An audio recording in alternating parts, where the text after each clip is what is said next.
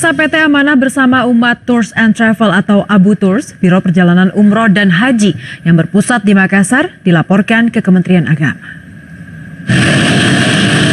Penundaan jamaah Biro Perjalanan ini kerap kali terdengar. Bulan Agustus 2017 lalu, sebanyak 27 jemaah batal berangkat akibat dijadwalkan ulang. Memasuki awal tahun ini, 10 Januari lalu, Biro Perjalanan Umroh ini kembali melakukan penundaan ulang pemberangkatan jemaahnya. Total 16.000 jemaah yang tertunda keberangkatannya. Kemenak Sulsel menyatakan jamaah yang batal berangkat akan diberangkatkan pada 10 Februari 2018 mendatang. Meski kerap terdengar catatan buruk Abu Turs, Kemenak Sulsel belum melakukan pencabutan izin.